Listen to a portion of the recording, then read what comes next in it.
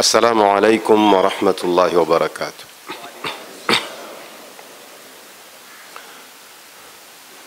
Em primeiro lugar, estimados irmãos, queridas irmãs, rogo a Allah subhanahu wa ta'ala para que nos inclua na lista daqueles que ele bem falou deles no Suratul Asr.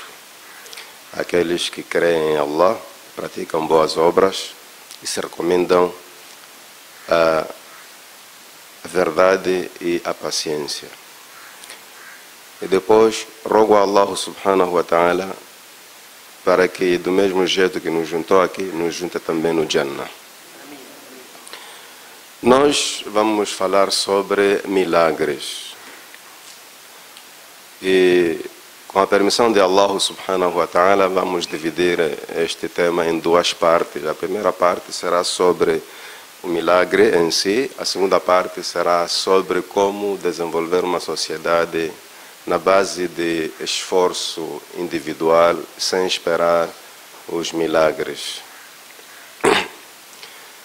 Para fazer um bom uso do tempo, vou tentar ser breve, como se anunciou. Primeiro, vamos começar por definir o milagre. O que é milagre? Na verdade, a palavra que na língua árabe se usa para significar milagre é uma palavra que no Alcorão não foi mencionada. A palavra que os nossos álимos, nossos teólogos usam em suas abordagens, em seus livros, é uma palavra que no Alcorão não vem mencionada, que é a palavra mu'jiza. A palavra mu'jiza, que traduzimos em milagre, no Alcorão não vem mencionada. E por que, que eles usam esta palavra? Eles usam esta palavra olhando para a sua origem linguística, olhando para a língua árabe. Não usam ela olhando para o significado técnico, o significado islâmico. E não há nenhum mal nisso. A palavra mu'jiza na língua árabe aplica-se para toda coisa que se uma determinada pessoa fizer, as outras pessoas não conseguem fazer exatamente como aquela primeira fez. E é esse sentido que vai ao encontro da palavra milagre. Tudo aquilo que se surge uma pessoa a fazer, não surge mais uma outra a fazer do mesmo jeito, isto chama-se milagre, mu'jiza. O que quer dizer que eh, na linguagem islâmica, a palavra certa não é milagre. Islamicamente falando, a palavra certa para milagre é aya, sinal. Por que sinal? Porque os milagres eram acontecimentos além do normal, eram coisas supernaturais que Allah subhanahu wa ta'ala fazia acontecer através dos seus profetas e mensageiros como forma de confirmar para a maioria que este indivíduo foi enviado por ele. Então, aquilo que ele fazia e deixava as pessoas convictas de que ele foi enviado por Allah, era um sinal de Allah. Era um sinal de Allah. Daí a palavra aya, sinal, milagre. E, em algumas vezes, este sinal era o próprio profeta a pedir a Allah, quando fosse desmentido, oh Allah, eles não acreditam que tu me enviaste, então mande um sinal que convença a eles. Noutras vezes, era o povo a pedir ao profeta que, se na verdade você é profeta, então peça a quem te enviou que nos mande uma coisa convincente. É assim que os milagres aconteciam. E, nesse sentido, nós teremos que falar aqui dos tipos, não vou dizer tipos de milagres. Eu quero que vocês, irmãos, percebam que os milagres são acontecimentos além do normal. São coisas que o ser humano normal não consegue fazer. Então nós vamos ver os tipos de acontecimentos além do normal. Não vou dizer tipos de milagre, porque na verdade milagre é só um tipo, aquilo que Allah faz acontecer através dos profetas. Mas eu quero ficar concentrado aqui junto com vocês sobre o tipo de acontecimentos além do normal. Temos três tipos de acontecimentos além do normal. O primeiro tipo é o aya, o milagre em si. Não precisamos de definir, apenas podemos dizer que o sinal, o milagre, acontece quando Deus, ah, digamos, o sinal é um fenômeno que Deus faz acontecer através dos seus profetas e mensageiros, como ah, forma de, tanto, autenticar a profecia desse indivíduo que diz que é profeta. Temos alguns exemplos no Alcorão. Todos eles relacionados aos profetas. Um dos exemplos é quando Jesus fala no berço, ou seja, no mesmo dia em que ele nasce, ele fala. Esse é um milagre. Um dos exemplos é quando o cajado de Moisés se transforma em cobra. Esse é um exemplo. Temos muitos exemplos que não vou ser eu a enumerar aqui, os irmãos têm toda a possibilidade e, e tempo para procurarem isso no, na tradução do Alcorão, já temos muitas cópias do Alcorão traduzido. O segundo tipo de fenômenos além do normal, ou tipos de acontecimentos além do normal, chama-se karama. Karama, em outras palavras, podemos chamar por privilégio. O que é karama, o que é privilégio? É quando uma coisa anormal acontece através de uma pessoa que não é profeta, mas é uma pessoa que se comporta da maneira que Allah gosta. Esta pessoa chama-se waliyu. Quando são muitas, ou quando são muitos, chamam-se auliá. O primeiro é profeta ou mensageiro de Allah.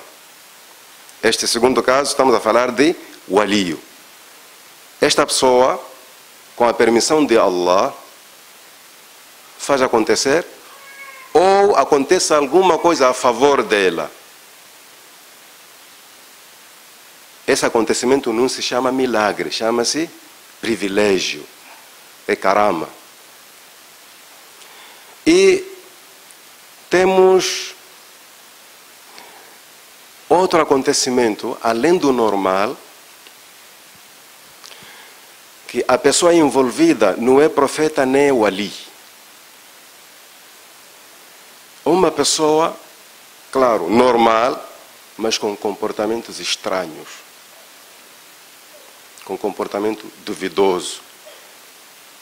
Para ser direto, que não se comporta conforme os ensinamentos do Alcorão e os ensinamentos do profeta Muhammad sallallahu alaihi wasallam. Este tipo de acontecimento chama-se istidraj. E o istidraj tem várias formas. Uma das formas é a magia, o feitiço. O que é istidraj em português? Para fazer uma tradução aproximada, os irmãos podem, na base de pesquisas, podem encontrar outros significados. Istidraj significa persuasão ou indução. Persuasão e indução acontece quando a pessoa começa a fazer coisas estranhas na base de visões noturnas, visões noturnas, mas satânicas, porque nós sabemos que a visão divide-se em três partes. O sonho é de três tipos. Existe o sonho que provém de Allah, existe o sonho que provém do Shaitan e existe o sonho que provém daquilo que você viu e a sua memória acumulou e com o tempo a memória começa a fazer retrospectiva e ao dormir você começa a ver aquilo. Aqui estamos a falar daqueles sonhos diretamente provenientes do shaitan. Só que por que, se chama istidraj? Porque esta pessoa vai fazendo coisas estranhas sem se perceber que de uma forma gradual o shaitan está a puxar para si. E ela convence-se que tudo o que faz e todas as visões que tem provém de Allah. Chama-se istidraj. Normalmente, pessoas assim podem ser muçulmanas e podem não ser muçulmanas. Quando se fala de muçulmanas, pessoas muçulmanas, são pessoas que não seguem a sunnah. Pertencem a uma seita desviada. Quando não são muçulmanas, está claro, são desviadas. Fazem parte do Waradhalin. E, irmãos, se vocês forem analisar bem, nós estamos aqui diante de um perigo, mas muito grande. Porque eu pessoalmente conheço pessoas que gostam muito de contar seus sonhos estranhos. E quando contam, me fazem entender que eles são santos. Tive um sonho, me, me levaram ao céu. Ao céu, ah, tá bem, qualifica lá como é que fica o céu. Eu nunca esteve lá. Explica-me lá. Como é que está lá? Eu disse, não, vieram duas criaturas e estavam a voar comigo. Essas criaturas como é que são? Têm asas? Não, eu não conhecia as pessoas, mas punham roupa branca e me levaram. Depois abriram um livro que eu não sei ler. Um livro que você não sabe ler, mas leu. Chega aqui, cuidado, o Shaitan tem dessas. Um sonho normal, proveniente de Allah, a primeira coisa é que ele tranquiliza o coração. Essa coisa de você logo assustar, esse sonho vem de Shaitan. Então presta atenção, pode ser istidraj. O Shaitan vai lhe fazer ver coisas estranhas que você nunca pensou que iria ver na vida e de repente você acha que é um santo escolhido. Bem, eu não preciso definir o que é um profeta, os irmãos sabem, mas gostaria de fazer uma pequena definição a partir do segundo grupo, os wali. Quem é o ali? O Alcorão define quem é o ali. Allah subhanahu wa ta'ala diz: Ala inna awliya Allahi la khawfun alayhim wa la hum yahzanun. Está a falar de, vocês ouviram, awliya, está? Awliya. Mas ainda não se definiu quem é o ali. Em frente do ayah, Allah diz: Alladhina amanu wa yattaqun. O ali é aquele, todo aquele que crê em Allah e é temente. Tem imã e teme a Allah. O que é temer a Allah? Evitar a maldade até onde você consegue e praticar as boas coisas até onde você é capaz. Você já é o ali. Só que o nível dos auliá vai de vai diferir na medida em que o imã de cada um varia em relação ao imã do outro. Todos nós, por sermos muçulmanos, se tememos Allah, somos auliá. Cada um de nós é o ali. Só que o seu nível vai depender do nível do seu imã. Porque o imã aumenta e baixa. Sempre que o seu imã aumentar e as suas boas ações também brilharem, o seu wilaya, você é um wali de qualidade. Alladhina amanu wa kanu yattaqun. Este é um ponto essencial para nós entendermos este assunto. Quer dizer, sendo wali com estas duas qualidades, iman e taqwa, em algum momento, Allah pode fazer acontecer uma coisa que você não esperava. A favor de você, ou você fazer, fazer um doa, ou alguma coisa, e a partir daquilo que você fez, Allah fazer acontecer o que não se esperava. Que os que não sabem vão chamar de milagre. Quando não é milagre, é o quê? Caramba, privilégio. Cada um de nós pode, homem ou mulher. Tudo bem.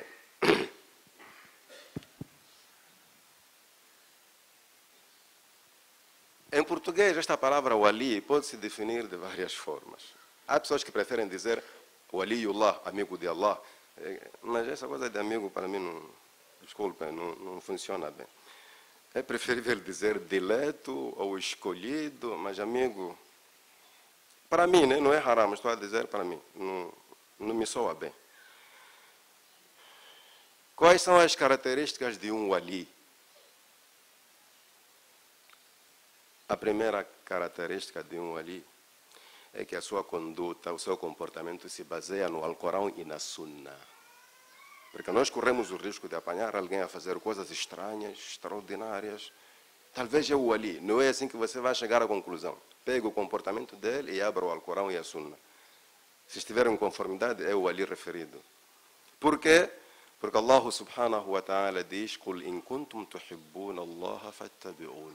Se vocês amam Allah, se vocês amam Allah, então sigam. Ou seja, se vocês são os escolhidos por Allah, então sigam-me. Sigam-me significa assegure a minha sunna. Está? A pessoa comporta-se conforme al-kitab wa sunna. A segunda característica de um wali trata-se de uma pessoa humilde. O wali não se orgulha pelos seus atos. É uma pessoa que se comporta bem, mas em nenhum momento ela aparece a exibir a sua bondade, a sua santidade, a sua religiosidade. É uma pessoa que, se calhar, ao olharmos para ela, é insignificante. É uma pessoa que nós falamos lá na nossa terra, aquela pessoa que nós olhamos aqui, na extremidade do olho, não, não nos interessa, oh, não passou ninguém. Por quê? Ele não faz entender que eu sou importante ou tenho imã do nível 7. Eh, não.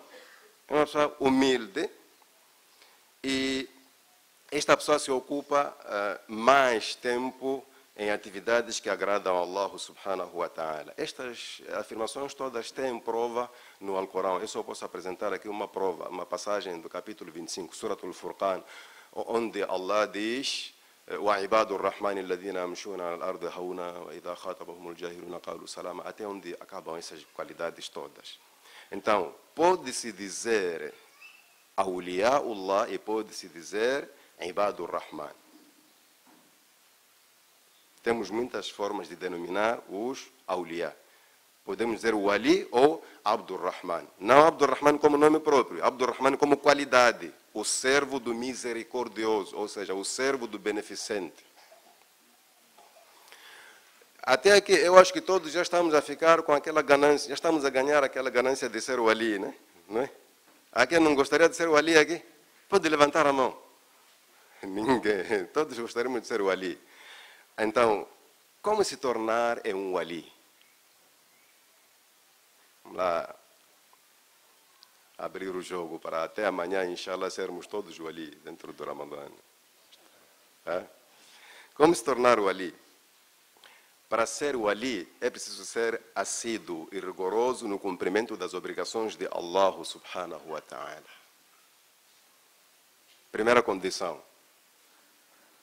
Cumprir com assiduidade, com rigorosidade, os mandamentos de Allah. Aquilo que nós chamamos de fardo.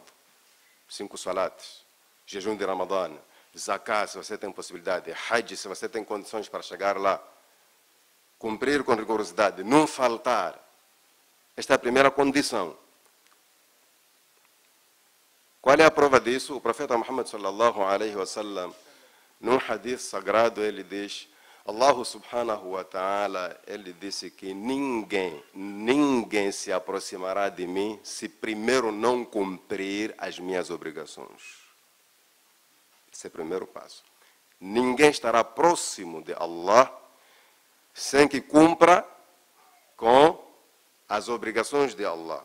No mesmo hadith, Allah diz: وما يزال عبدي يتقرب إلي بالنوافل حتى أحبه assim que a pessoa cumpre com as obrigações e continuar com os atos facultativos, você fez salat e dhuhr, tem aí uma sunna na frente ser rigoroso no cumprimento da Sunna, essa rigorosidade vai fazer com que Allah passe a gostar de ti.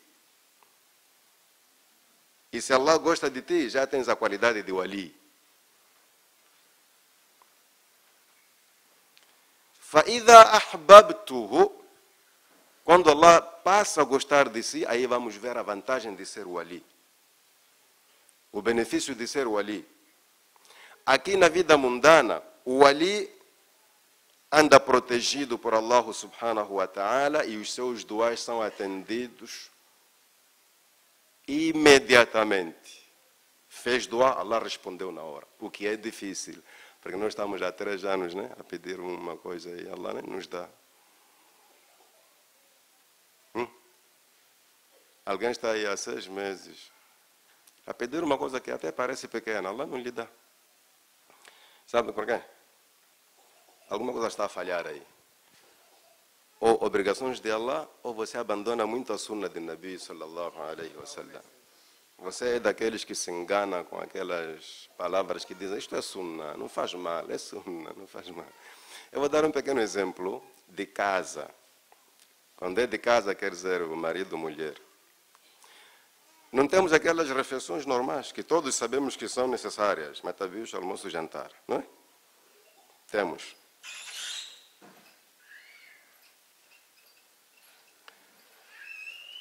Quando a mulher prepara almoço, é novidade? É novidade? Mata bicho é novidade. Jantar é novidade. Mas quando faz uma coisa, uma coisa especial e guarda num lugar especial para seu marido, é não é novidade? É novidade, né? Então, aquilo é sunna. O ágibo é almoço, jantar, Aquela sunna ali faz com que o homem goste mais de si. Estou a mentir, minhas irmãs? Nenhum homem fica atraído, aliás, gosta mais da mulher só porque prepara almoço. Almoço é para todos, empregados, filhos. Mas aquela coisa especial dele é que vai aumentar o amor em relação a.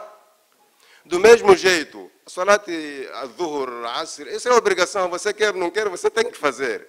Mas acordar à noite para fazer tahajjud Aí você, na verdade, gosta de Allah. Hum? Estamos a entender? Por que, Allah diz: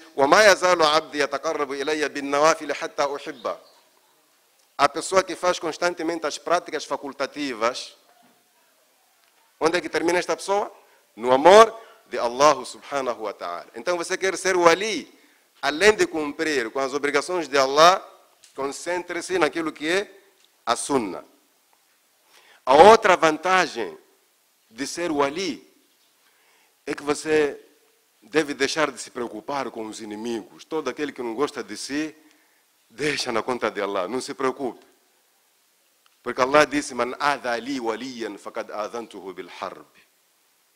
Aquele que ofende o meu dileto, aquele que ofende o meu escolhido, já declarei guerra contra essa pessoa. Você ande como quiser. Hein? Ande como quiser, Allah tomará conta dos que não gostam de si. Aliás, dos inimigos, né? Às vezes alguém não gosta de si, mas não é inimigo. Allah tomará conta dos seus inimigos. Essa é uma das vantagens de Al-Wilaya, aqui no Dunya. A outra vantagem é lá no Akhira. Quando Allah diz: Alá inna awliya Allah la khawfun alayhim wa lahum yahzanun. Saibam que os diletos de Allah, os escolhidos de Allah, entre parênteses, os amigos de Allah não estarão assustados no dia de Qiyamah, nem estarão tristes. Dia de Qiyamah chama-se Yawmul Faza'il Akbar. É o dia do grande susto. Toda a gente vai assustar, exceto os escolhidos, os awliya. Alladhina amanu wa kanu yattaqun. Tudo bem. Este tipo de pessoas, em algum momento, não vamos ficar surpreendidos se um dia pessoa com estas qualidades fizer uma coisa além do normal.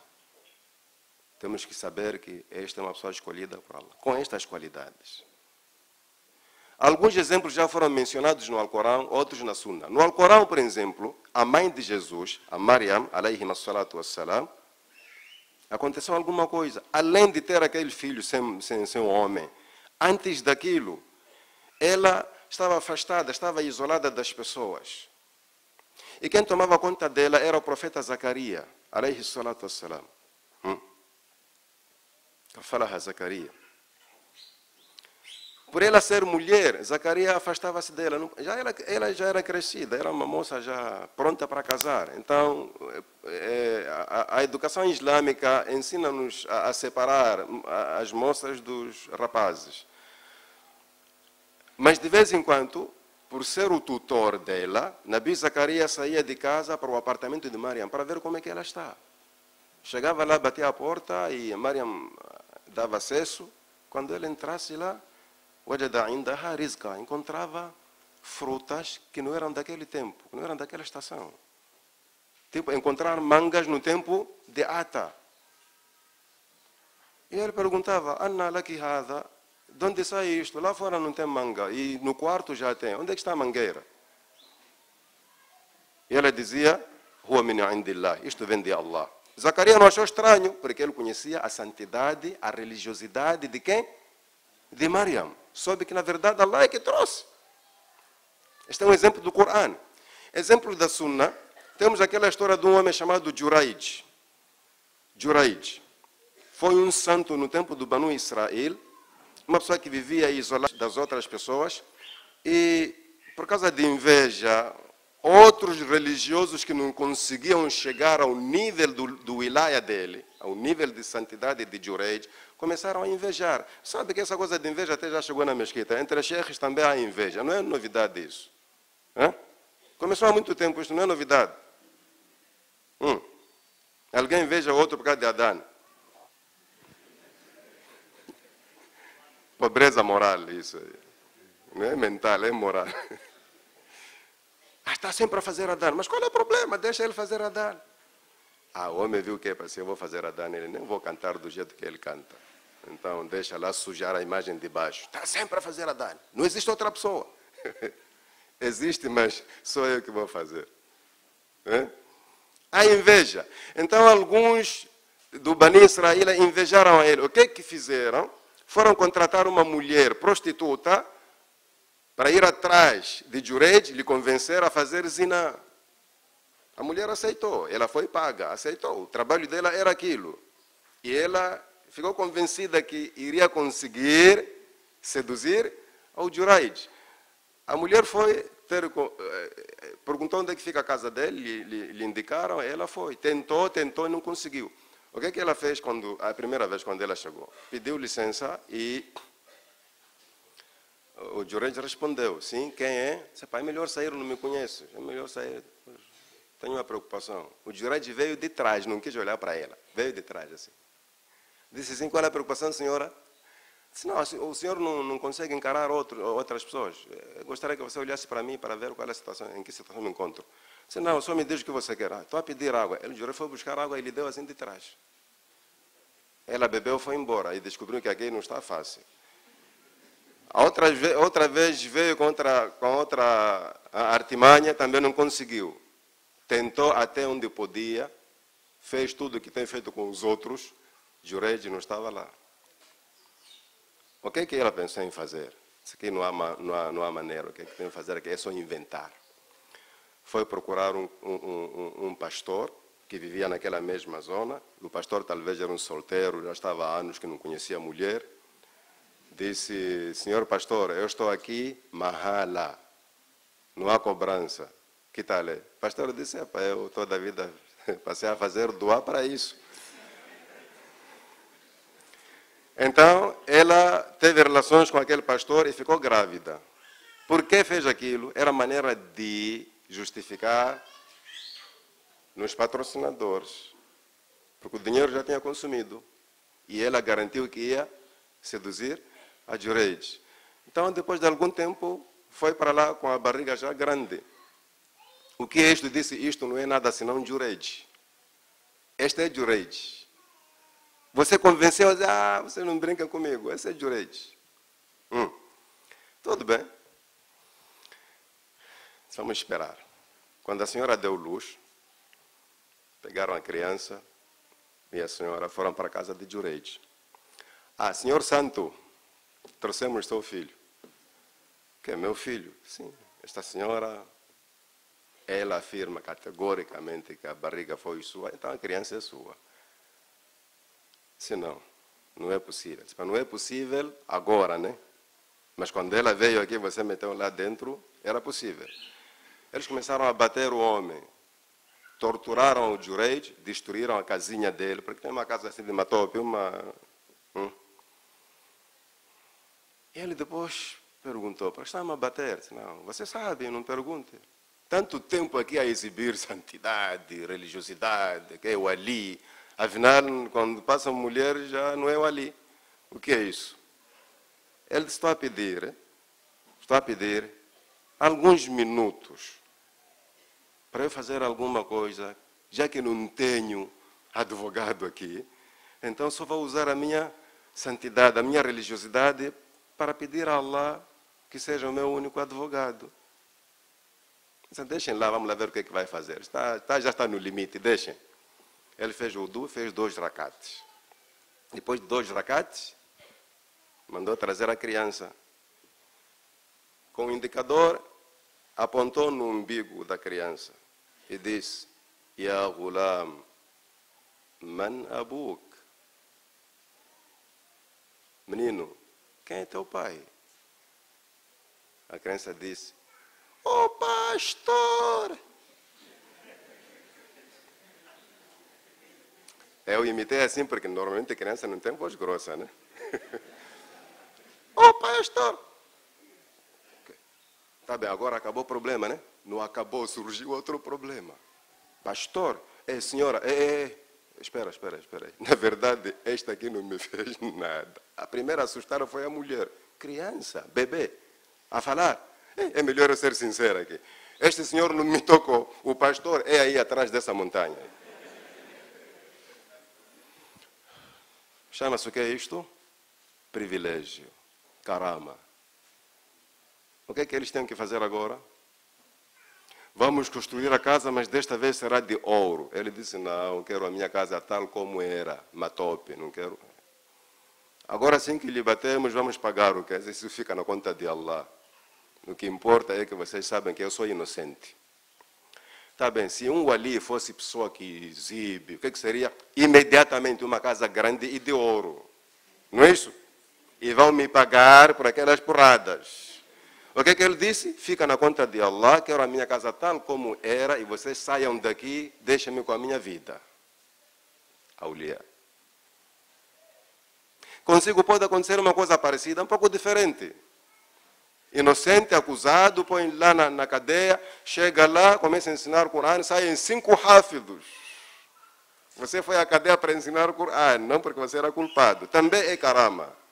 Porque pessoas estão aqui há 15 anos a tentar memorizar o Corão e ninguém consegue. Você faz memorizar em 3 anos. Hum. Então, cada um de nós pode passar por essas situações dependendo do nível do seu iman e a sua aproximação com Allah subhanahu wa ta'ala. Então, que Allah subhanahu wa ta'ala nos faça desse grupo e que nossos filhos também façam parte dos awliya. Um outro exemplo. Ei, estão a contar os minutos, por favor. Não, me... Eu não estou a contar. É? Posso ir, né? Tudo bem. Um outro, só vou dar um exemplo que resta. Um exemplo de que? Aulia. Um ou dois. O primeiro não vou detalhar. Quem quiser, é só abrir o Alcorão, capítulo número 18. Ashabul Kahf. Ashabul Kahf é um exemplo de aulia. Pessoas que fugiam da descrença, do politeísmo e alojaram-se aonde? Numa gruta, numa caverna. Ficaram lá a dormir 309 anos. Você não experimenta dormir 72 horas.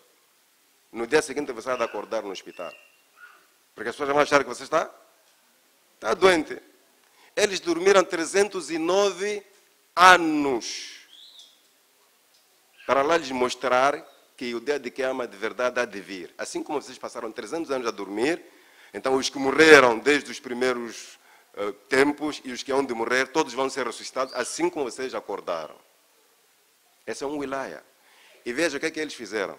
Quando eles acordaram e descobriram que passaram três, três séculos. As pessoas não eram as mesmas. Seria normal, no nosso tempo, o tempo cheio de profetas, seria normal saírem dali a exibir: nós não morremos, nós vivemos, nós somos, nós somos. O que é que eles fizeram? Ya Allah, Este tempo não é nosso. Nós acreditamos no dia de Kiama e somos os primeiros testemunhos. Então, estamos a pedir para nos dar, nos dar a morte. Não dá para nós vivermos com pessoas que não são da nossa geração. Morreram. No nosso tempo era momento de sair fora começar a exibir de um lado para outro. Eu tenho 350 anos. 41 mais 309. Não seria isso? Irmão, as pessoas cometem crimes, quando são absolvidas, vêm se exibir fora. Imagina alguém que não cometeu crime. Ia fazer isso. Mas Allah não exibem. Não exibem, não saem aí para aparecer. Tudo bem. Vamos falar de alguns exemplos de istidraj, o terceiro grupo. Os induzidos, os Já aconteceram muitas histórias de pessoas que fazem coisas admiráveis, mas estão distantes de Allah. Politeístas, idólatras, a fazerem milagres, como dizem, maravilhas. De tudo isso, o maior estidrade que nos espera é o aparecimento do anticristo, Al-Masih Dajjal, que vai fazer coisas acima do normal. Ao ponto do profeta Muhammad sallallahu alaihi wasallam nos avisar: Man sami'a bid-dajjal falyan'a anhu. Aquele que ouvir que Dajjal está deste lado, é você ir assim. Não vai, tipo, eu sou múmino, quero lhe ver. Não, ouvir falar que ele está no norte, corra para o sul. Não procure ver ele, porque ele faz coisas insuportáveis. Você acaba seguindo a ele. Você já imaginou, neste, com, este, com, esta, com este clima que temos agora, alguém dizer, cai a chuva, e na verdade começar a cair chuva? Hum? Já imaginou? Temos igrejas escritas, só escritas, Jesus é o Senhor. As pessoas vão ali só pela escrita, nem viram Jesus. Imagina ver alguém que diz, Levante e não pise nada. E você levanta sem querer, fica lá pendente. Quando desce, o Senhor é o Senhor. Não é isso? Profeta disse: não se aproximem do Dajjal, porque ele vai fazer coisas muito, muito anormais. A velocidade dele só, daqui para a América, não são horas são minutos. Chamar alguém, matar e reviver. Dividir a pessoa pelo meio. Serrote, uá, uá, uá. Metade, metade. Ah, junta-se levante. E o corpo junta-se levanta. Você está a ver tudo isso. Você terá imã suficiente para dizer que não, você está a mentir? Se Allah criou essas condições para o Dajjal, Existem outros dajajilas mentirosinhos pequenos que ainda estão a vir aí antes do tempo dele.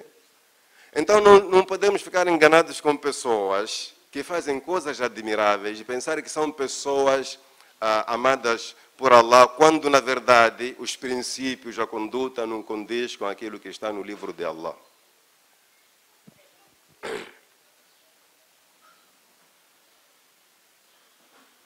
É, eu não, não sou mestre em Bíblia, mas às vezes costumo ler e encontro coisas lá.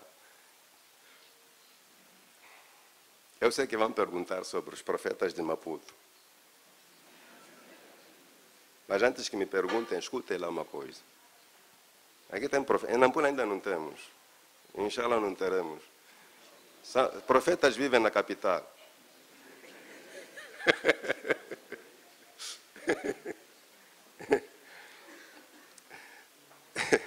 esse. Nós falamos de profetas de Allah, falamos de Allah, depois falamos de é? Istidraj, que são aqueles elementos que funcionam com Shaitan, mas eles pensam que estão a funcionar, trabalhar com Allah subhanahu wa ta'ala. Na Bíblia há uma passagem onde eu até escrevi aqui porque eu não consigo decorar a Bíblia. Há pessoas que decoram, eu não consigo. Há uma passagem de Mateus 7, 22, 23, onde Jesus diz assim: Muitos me dirão naquele dia: Senhor, Senhor, não profetizamos nós em teu nome. Quem fala é Jesus, que no dia de que ama vão aparecer pessoas dizer que nós profetizamos. E, então nome expulsamos demônios. E fizemos muitas maravilhas. Essas que estão acontecendo na igreja. É a Bíblia que está a falar aqui. Quem está a falar é Jesus. Esses profetas todos da igreja. Esses pastores. No dia de queima vão ter com Jesus. Isso não é vergonha, não é, não é nada para esconder. Está na Bíblia. Não estou aqui a inventar. Eles vão dizer, nós queremos te seguir lá onde você vai, queremos te seguir lá onde tu vais, lá no paraíso. Por que querem me seguir? Porque nós operamos milagres em teu nome, profetizamos em teu nome, expulsamos demônios em teu nome. Então, como é que ficamos sozinhos? Veja, a resposta de Jesus vai exatamente à definição do stidrad. Jesus vai dizer, então eu lhes direi abertamente, do tipo não vou esconder nada, não terei pena de ninguém. Vou dizer, nunca vos conheci. Primeiro, pela distância do tempo em que eu vivi, o tempo que vocês viveram, essa é uma prova. Nunca vos conheci pela fé que eu tinha, apartai-vos de mim. Saiam daqui, afastem-se de mim. Vós que praticais a iniquidade. O que é iniquidade? Maldade. Agora, maldade com o nome de Jesus. Por que, que Jesus chama maldade o que se fez em nome dele? Porque Jesus já sabia que há um de vir pessoas que vão se enganar pensando que trabalham para Allah, mas afinal trabalham para o Shaitan. Esses milagres que vocês operaram em meu nome são falsos, porque eu operava milagres em nome de Deus, nunca mencionei meu nome. Se vocês, se vocês fossem meus verdadeiros seguidores, diriam em nome do Senhor, Criador de Jesus, mas em nome de Jesus, quem operou não fui eu, nem foi Deus, é Satanás. Então, hoje não há encontro entre eu e Satanás e seus seguidores. Está na Bíblia isso aqui. Não chega isto aqui para quem vai ali sendo muçulmano. Não chega. Se o próprio Jesus vai negar esses, não sei como é que se chama lá na igreja, esses que operam milagres, eu acho que esses que operam milagres, se tivessem como apagar isso da Bíblia, iam apagar imediatamente. Significa que há pessoas que vão fazer coisas admiráveis, como chamam aqui, maravilhas, coisas extraordinárias, mas que não estão em concordância com os mandamentos de Deus.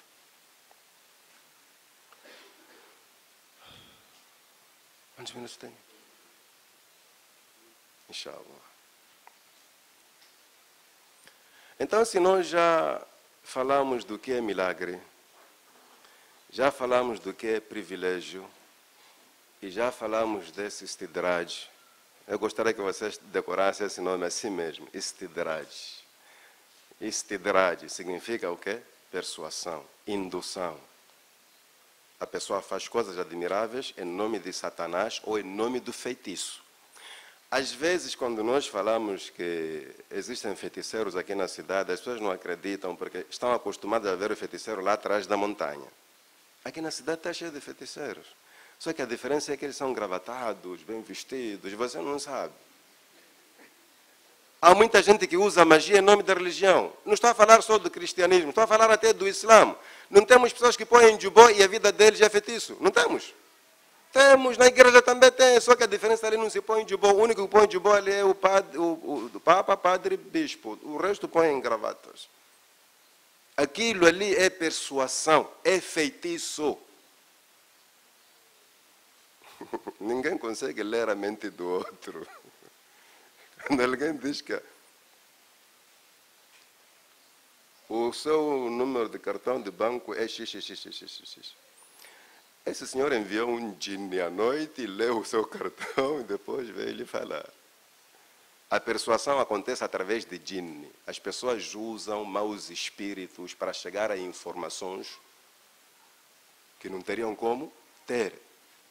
Às vezes, só para aproveitar a oportunidade, às vezes nós nos perguntamos, não é que às vezes muçulmanos vão ao curandeiro, Quando chegam lá, faz alguma coisa, voltam. Ei, não, eu não sei por que dizem que aquilo é haram. Aquele senhor descreveu toda a minha vida. Ele falou de tudo. Eu não, eu, se o Islã é assim, eu já não sou muçulmano. Eu, não acontece isso. Deixa eu vou lhe explicar como é que o, o curandeiro descreve a sua vida, fala de tudo sobre você. É assim, cada ser humano tem um jinni, um jinni, chama-se Karin, companheiro. Todo ser humano tem um jinni no seu corpo, e esse jinni fala exatamente como você fala. Ele conhece todos os seus segredos. Tudo que você é, ele é assim mesmo.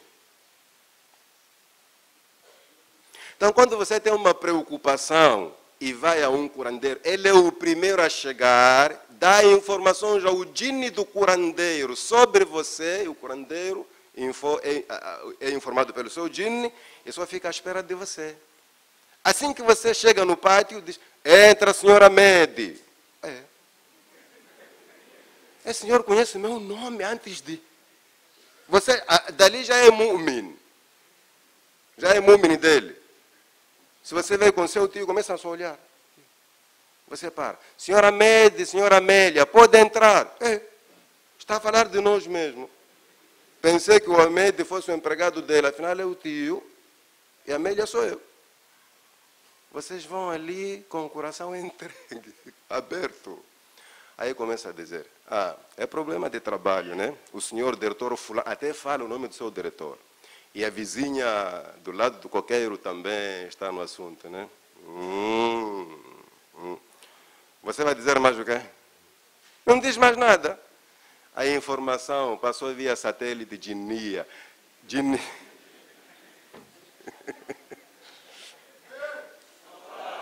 que é satélite de Nia. O jinne seu e o jinne do seu tio, assim como, como vocês foram para lá, passaram informaram o jinne do curandeiro. E como é que o jinne passa a informação para o ser humano? Através de sugestões. Você começa a a parecer que está a pensar, afinal está a receber instruções. Allah diz assim: Este dua foi revelado para o profeta Muhammad salam no dia que ele estava a fazer da'wa para as pessoas e na montanha estava um grupo de jinns a se preparar para vir arrebatar a ele. Allah revelou: Peça-me agora, o, refúgio. Diz: Oh Allah, eu me refugio em ti contra as sugestões do Shaitan. Quando você está muito triste e senta sozinha, neste caso, senta sozinha, então começa a pensar coisas que você não queria. Ah, deste jeito, deste jeito que ele está a te humilhar. Prefiro ele morrer, prefiro sair de casa. Não é você, mana, é um djinne que está aí a falar em voz baixa. E quando o djinne fala em voz baixa, você percebe em forma de pensamento. Chamam-se Hamazat Shayatin, sugestões satânicas. Então o curandeiro está ali, está a receber a informação. Eu quando começo a dizer, a senhora teve emprego na EDM e sem saber porquê foi mandada embora. Sim, como é que sabia? E depois daí teve a sorte de casar com um piloto, logo, logo o homem caiu. Sim. O seu primeiro filho foi atropelado e daí não melhorou mais. Sim. É tudo sim, sim, sim. Mas onde é que este tira a informação? Temos criaturas invisíveis que são usadas pelos feiticeiros. Por isso temos nós aquelas suras como proteção. Kul a'udhu bi rabbil falaq. Kul a'udhu bi nas. Falam desses. E esses profetas estão cheios de jinnes que lhe ajudam a fazer essas coisas. Quando falo de profetas agora são esses falsos, não é profeta de Allah. O milagre é só para profeta ou mensageiro de Allah. E nós sabemos a diferença entre profeta e mensageiro. Todo mensageiro de Allah é profeta, mas nem todo profeta é mensageiro. Porque mensageiro é um profeta que tem a obrigação de transmitir a mensagem de Allah. Profeta é aquele que recebe a informação de Allah, mas não é obrigado a transmitir. Todos são de Allah. Esses sim operam milagres. Já explicamos por que, em que situações eles operam os milagres. Então, para não nos deixarmos levar com essas, porque nós temos três coisas que nos deixam cair no pecado. E todas elas são baseadas no medo. Pobreza, doença, pobreza, doença. Quem vai me dizer a terceira? Está cheia aqui. Pobreza, doença.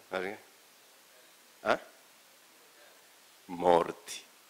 Quando está cheia aqui é porque todos vamos morrer, não é que alguém está para morrer. Não?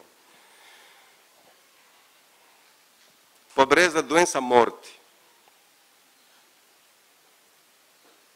Quando a doença bate à sua porta, cada um que vem lhe visitar se transforma em médico e com sua receita especial. E você se deixa levar. Esse tipo de doenças são essas que levam ao muçulmano a ir à Igreja Universal. O que eu, que, eu não vou mudar de fé, o que eu quero é só melhorar. Ué. Se só por ir ali já mudou de fé, só por sair dali para lá, é porque você acreditou ni, na, naquilo, nisso que está acontecendo aí. Já mudou de fé. O profeta Muhammad disse: Man, man ata arrafan ou fasa'alahu fasaddaqahu faqad kafara bima nuzila ala Muhammad. Sair de casa para o curandeiro, perguntar a ele alguma coisa e ele te responder, você acreditar, você já é kafir. Você já negou o Alcorão. E hoje você diz, não, eu só vou procurar. Do... Eu não mudei de fé. Ah, mas o que é que te levou lá se não for a fé? Pobreza pior. Minha vida não está a andar bem, sabe? Ah, alguma coisa não está bem. Vai lá para a igreja universal. Vamos fazer oração a seu favor. E, e, e o mais engraçado é que encostam o carro muito longe para chegar lá a pé. Não, encosta ali na porta, você foi à vontade, encosta ali e saia. Lá muito longe, disfarçado, já não põe de boa. Entra aí. Medo de pobreza. O pior de todos é aquele que tem medo de morrer. Ah, você vai ter medo de morrer. Vamos morrer. Nós não temos, não temos maneira, nós vamos morrer. O que temos a fazer aqui é fazer alguma coisa que Allah gosta antes que a morte chegue. Mas é que nós vamos morrer e não temos nem 40 anos, sabia? Nem 40 temos. Porque o profeta Muhammad disse: o meu povo viverá até 70. E são poucos que vão ultrapassar os 70. São poucos que vão chegar aos 70. Nós temos muito pouco, do que, muito pouco tempo do que imaginamos. Então faça alguma coisa. Allah diz: Esse espaço entre a vida e a morte é só para você fazer alguma coisa boa. Não é para andar a fugir da morte que você vai morrer. Hum. Então, nós temos a obrigação de usar a nossa mente fazer perguntas lógicas. A norma é começar por mim, depois aí. Este senhor que passa a vida a tratar das preocupações dos outros, ele enriquece pessoas, ele, ele mesmo, cura pessoas, ele mesmo salva pessoas mas ele está cheio de defeitos. Não consegue eliminar. Você já se perguntou? Os profetas não sofriam de doenças contagiosas, não tinham defeitos que, que, que afastam as pessoas deles. Sabe por quê? Porque eram os primeiros a operar os milagres. Era do tipo: como é que o Senhor consegue curar doentes e o Senhor está doente? Esses profetas todos, curandeiros, mágicos, esses feiticeiros, se você for a estudar a vida deles, estão cheios de preocupações e defeitos.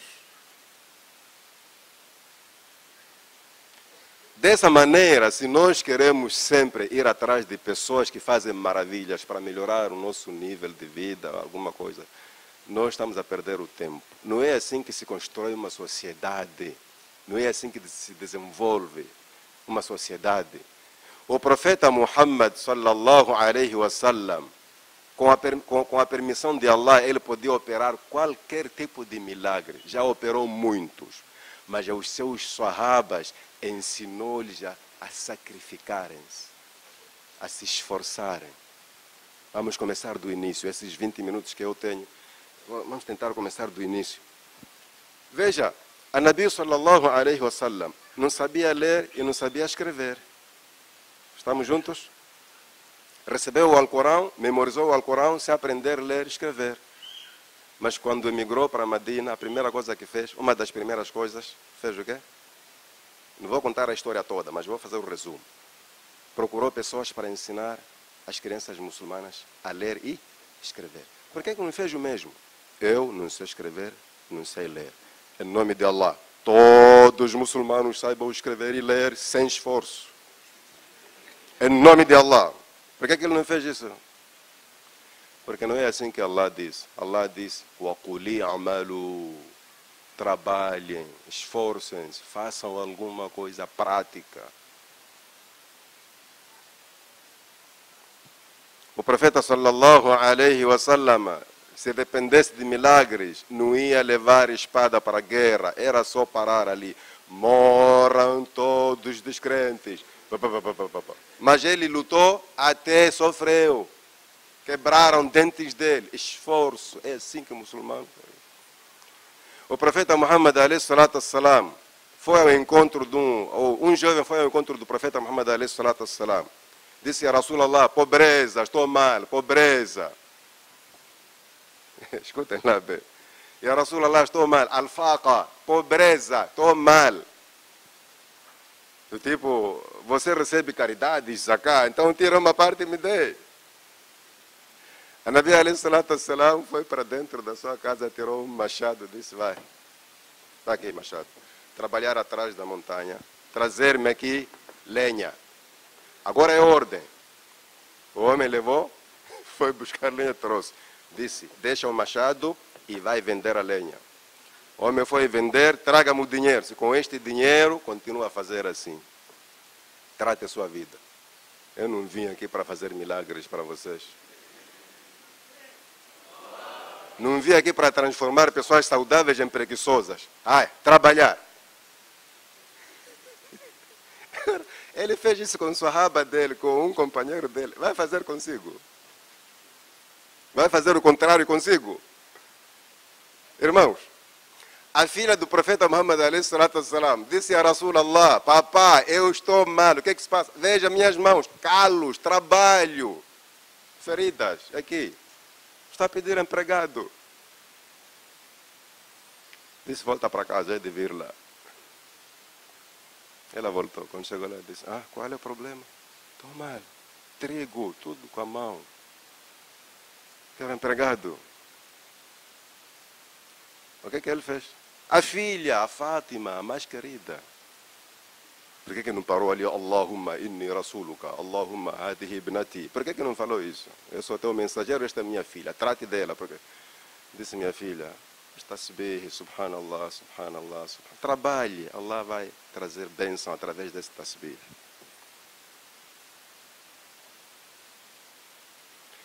Os companheiros do profeta Muhammad salam, aprenderam dele a se empenharem no trabalho. Abdurrahman bin Auf.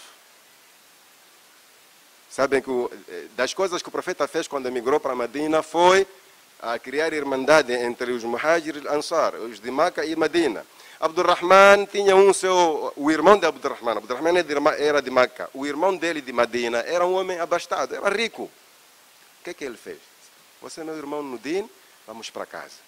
Metade do meu dinheiro fica para você. Eu tenho duas senhoras, duas mulheres. Uma fica para você. Que imã, né?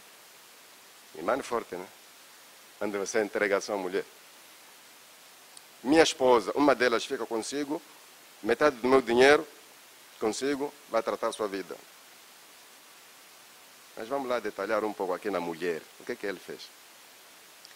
Porque há que ter duas mulheres, saber que esta só me dá dores de cabeça. Então, este como é solteiro, pega esta, pega, pega. Essa. Ele não fez assim. Ele disse: Eu tenho duas mulheres. Vamos para a minha casa, olhe para elas. Aquela que você gostar dela, essa vai ser sua esposa. Esse é imane.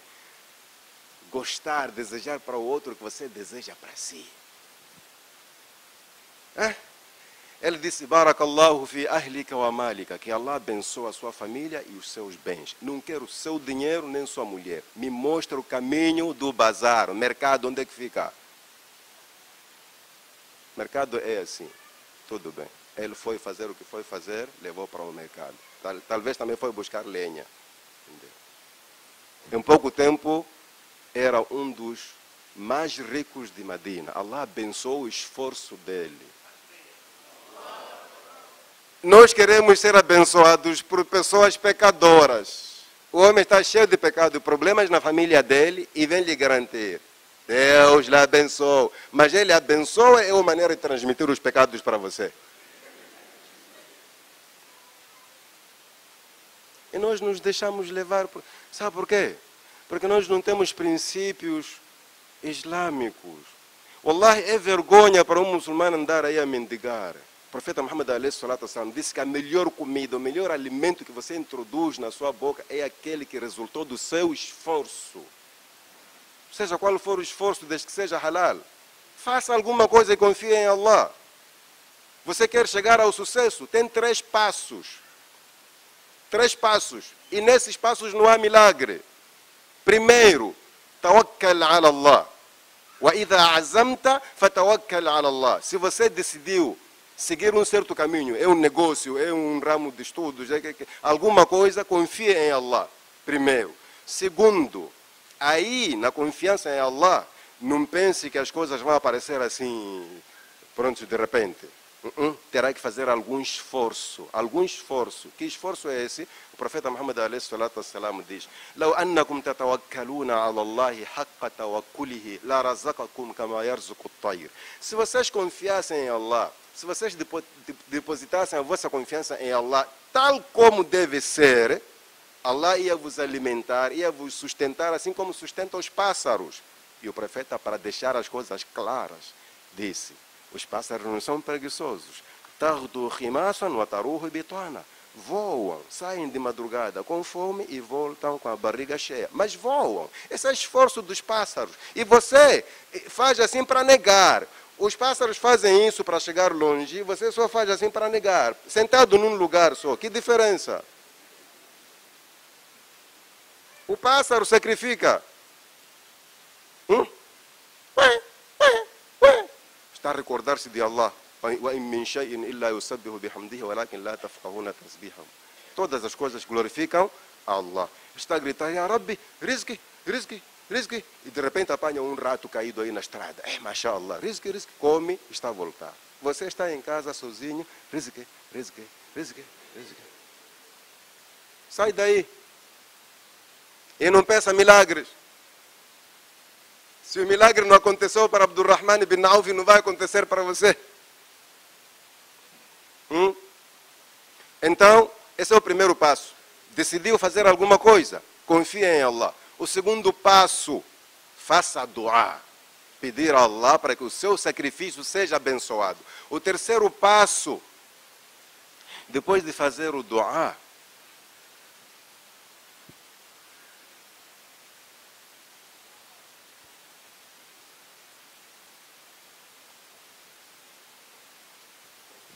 seja determinado, persistente não é entrar num negócio e não deu certo. Ah, não deu certo. Vai para quem não deu certo. Ah, não deu certo. Você há de morrer tudo a não dar certo. Persista. É? Os nossos antepassados viviam de quê? Da água do poço. Mas se eles cavassem um metro e ficassem cansados, o que, é que seria? Morriam logo. Persista. A água está lá embaixo. E Allah diz o quê? Famshu fi manakibiha wa kulu min rizqihi. Andem pela terra. Vão me desculpar, eu falar de uma coisa que talvez não fosse para falar aqui, mas eu vou falar, porque já se falou. Quando esse presidente nosso falou que isto é cidade, quem não aguenta saia fora, nós criticamos muito. Ah, está a falar mal, está a mandar. Mas ele tem razão. Sabe por quê? Sinceramente tem razão. A razão é dele, não tem como não, não lhe dar. Você está a reclamar de vida cara aqui na cidade. Já foi para Boane e continuou cara. Já foi a Climane e viu que é cara. Alguém lhe disse que onde você nasceu tem que ficar aí, morrer aí. Allah diz, famshu fi andem pela terra, você há de comer o que é seu. O Islã não aceita preguiçosos. Cada lugar tem seu nível ou custo de vida. Os sahabis, radiallahu anhum, ficaram em Medina aquele tempo todo porque queriam absorver o conhecimento do profeta Muhammad. Quando ele morreu, se dispersaram pela terra. Se você for contar o, o, o, as campas dos sahabas ali, não chegam cerca de 5, 6 mil. Mas eram muitos, morreram longe, à procura de rizqui e a fazer o trabalho de Allah. Agora nós temos medo de andar. Quando você programa uma viagem, Ei, vais morrer lá. E aqui não fica a morrer? Vais morrer lá. Lá as coisas não estão bem. As coisas não estão bem, se aqui também não estão bem comigo. Não há milagres, já Jamá. Para nós não há milagres. Faça esforço, confie em Allah, faça doar. Se Allah quiser, há de fazer acontecer um privilégio. Está? Um privilégio. Mas sentado, milagre não. E se deixar levar com esses milagres falsos estão a andar por aí, Allah subhanahu wa ta'ala deixou claro no seu Coran. Eu já disse que aquilo não passa ou de feitiço ou de qualquer outra coisa. Milagre não é. Se for feitiço, Allah disse: "Wala yuflihu sahiru haythu ata". O feiticeiro não terá sucesso. Pode fazer o que fizer, no fim é desgraça. Allah disse: "Walaqad alimu laman ishtarahu ma lahu fil akhirati min khalaq". Os próprios feiticeiros já sabem que não serão bem-sucedidos. Não se deixe levar por aquelas coisas que não são milagres, não. Mesmo se eu não falasse do Alcorão e a Sunna, esta passagem da Bíblia é suficiente. Por que, que Jesus vai rejeitar esses que fazem milagres? Porque a Bíblia está aí, não é Corão. Se for vão dizer, ah, está, está, está a se favorecer porque é dar. Não, o texto está ali. Jesus que operou um dos maiores milagres. Jesus que por si era milagre, pelo seu nascimento e por aquilo que ele fazia, está a nos dizer que há falsidades que não são milagres. Por mais que apareça alguém em nome do Islã começar a fazer aquelas coisas, nós temos agora a plataforma para analisar se ele é o Ali ou não. E atenção, amanhã vão surgir muçulmanos a dizer que aquilo que o Sheikh dizia, eu também sou o Ali. Não se preocupe, o Ali não se declara. Se aparecer um chefe dizer, eu sou ali, faço coisa, fica a saber que este é usado. O ali não se declara. Ele pode fazer certas coisas a seu favor sem você perceber. E a coisa correr bem, porque ele não quer elogios. Ele só faz na presença de pessoas quando não tem como. Só vou dar um pequeno exemplo, um pequeno exemplo, e já sei que meu tempo já acabou. Um pequeno exemplo. Isso está num livro, estava a esquecer agora do, do, do, do título do livro, do nome do livro. Essa história está, está contada num livro no tempo dos nossos antepassados, o ulama o sunna, numa certa terra havia, havia seca, havia falta de chuva, por muito tempo. Então os sheikhs, os muallim, os duates, todos se juntaram num único lugar para fazer dua. Chamaram toda a população. É pena que não vou provar agora porque esqueci-me do livro, cada um podia ir, essa história está lá. Começaram a fazer doar por semanas e Allah não enviava chuva. Todos os cheikhs confiados estavam ali. Jubôs e barbas e tudo, ali. Allahumma, Allahumma, Allah diz lá. Allahumma, Allahumma, lá. Não cai chuva nem nada. É, estamos mal. Num certo dia, passou um senhor, daqueles que não enchem no olho, como falamos em Macua, né? Aqueles quando você olha para eles não são nada parou à distância. Naquele lugar onde ele parou, estava ali uma criança a brincar. Ele perguntou à criança: É menino, por que, que aquela gente se aglomerou ali? O rapaz disse: Ah, o senhor não sabe o que se passa aqui? Estamos há anos que não chove, estão a fazer doar ali, todos os cheios estão lá. Ah, é? Aquilo é coisa de, de, de, de chuva, assim. Então ele disse: Oh Allah, faça descer a chuva. Imediatamente começou a chover. A única pessoa que ouviu foi aquela criança. Na hora começou a chover. E ele desapareceu para não ser conhecido. Sabia que esta criança vai me fofocar. Hein? Desapareceu. As pessoas lá, mashallah, mashallah, os cheios reunidos. Akbar, como vocês fizeram agora. Allahu Akbar, Allahu a pensarem que o doar foi aceito. A criança foi ter com o cheio maior. Papá, papá, desculpa, estou a pedir. Tem, tem que incomodar, tem que incomodar, estamos em alegria. Espera, papá, essa alegria é só um minuto.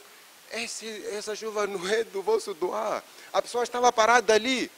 Só, ah, que pessoa é essa? Ah, um senhor estava parado ali e disse, Allah, faça descer a chuva agora. E começou a chover. Eu vi. Disse, você não está bem, né? Está bem, cabeça.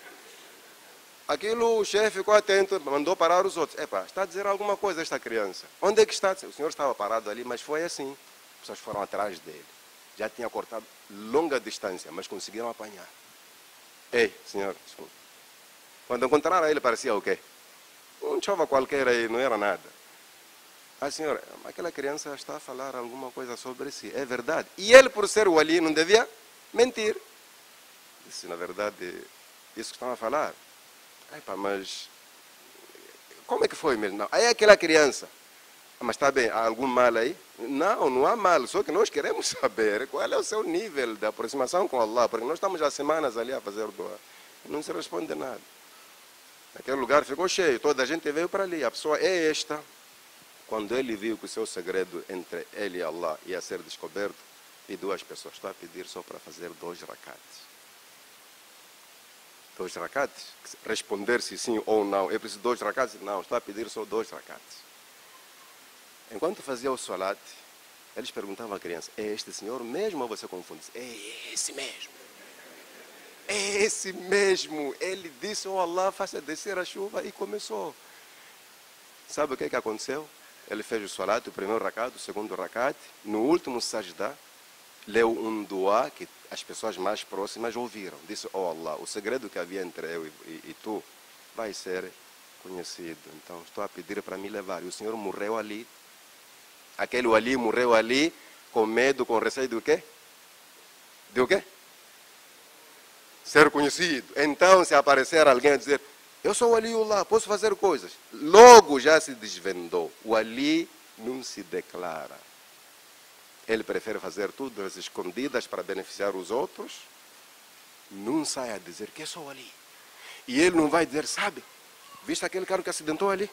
Eu que fiz doar para ninguém sofrer. Não vai falar isso. Ele vai ficar do seu lado, oh Allah, aquele carro, do jeito que está, segura, faça aquilo. É assim que funciona ali. Se não, se não prestarmos atenção com esse ponto, aqueles senhores da igreja vão surgir seus colegas na mesquita. Acredita lá. Vai se construir mesquita aqui cheia de wali. O wali do salat az-zuhr, do salat do asr, do maghrib, do isha, consulta de jinni, consegue ver quantos jinni você... Subhanallah. Allah diz, Innahu yarakum maqabiluhu min la. Só os jinnis conseguem ver os humanos, os humanos não conseguem ver jinni. Hoje já estamos a ter pessoas que conseguem ver o número de jinni que você tem. Daqui a pouco será o Ali. Vamos lá prestar atenção, Ya Jama'ah. Nós somos muçulmanos. Faça jud, wasjud waqtarib. Faça salat, crie aproximação com Allah, faça dua, faça algum esforço. Do esforço Allah vai abençoar. Se Allah abençoar, a sua vida vai ficar bem. Ninguém, irmãos, consegue satisfazer ninguém aqui senão Allah. Eu posso vos fazer uma pergunta?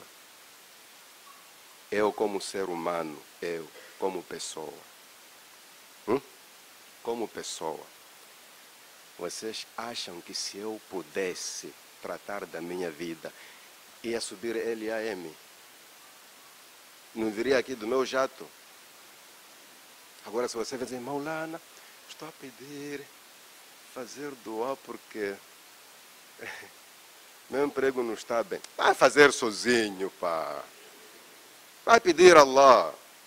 Eu já ouvi, vou pedir a minha maneira sem te fazer ouvir. Por isso o profeta salam diz que todo doa que se faz sem que a pessoa a quem você quer favorecer saiba, Allah responde. O que nós devemos fazer é o seguinte: aquele irmão está mal. Oh Allah, melhora a situação dele. Oh Allah, melhora a situação dele. Você vai melhorar sem saber que foi o meu doar. Isso é muito bom. Senão vamos criar esse tipo de pessoas que a vida dele só será fazer doar para os outros. Ele acordou, faz fajr, não faz fajr, está aí só à espera de alguém que vem pedir doar. Hum? Eu falei daquele exemplo de pessoas. Eh, alguém veio disse, Maulana, é assim, eu, meu carro não tem documentos legais, então está a pedir um doar que sempre que estou na estrada, a polícia a trânsito tem que.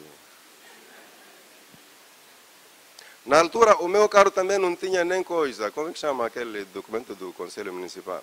Imposto autárquico. Não tinha. Eu disse também não tenho e ainda não aprendi a se doar. Ah, não, você tem doar. Eu quero um doar que logo polícia trânsito que me vê, ele olha para baixo. Irmão, eu não sou da Jali. Vai tratar documentos. Está a ver tipo de mentalidade. Vai tratar os documentos para ser muçulmano exemplar. Hum? Quando a polícia manda parar, você tira todos os documentos. Sim, este conhece a lei de Allah. Você não vai tratar bilhete só porque é muçulmano, as pessoas te veem sempre de jubô. Mas Allah falou de bilhete no Corão, sabia? Se eu fosse polícia, ia só atrás de muçulmanos que não têm bilhete. Sinceramente. Ah, este povo jubô, ah, identifique-se. Ah, não tenho, assim vou à mesquita. Ah, me segue a cadeia. Por quê? Porque Allah falou de bilhete antes do governo falar de bilhete. E foi o Corão que falou de bilhete. Ya ayuha nasu, inna khalaqnakum min, khalaqnakum min dhakarin wa untha wa ja'alnakum shu'uban wa qabaila. O que é shu'uban? Nações, repúblicas. E no bilhete a primeira coisa que aparece é república. Então, para você se identificar, lita'arafu, é preciso ter bilhete. É o ágibo muçulmano ter bilhete. Obrigatório.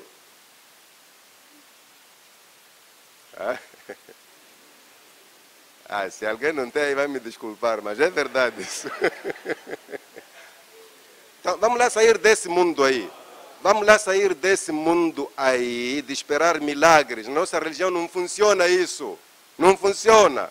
Se alguém vir lhe enganar em nome de milagre, mano, se você tem problemas de vista e deixa seus óculos serem quebrados, você há de cair hoje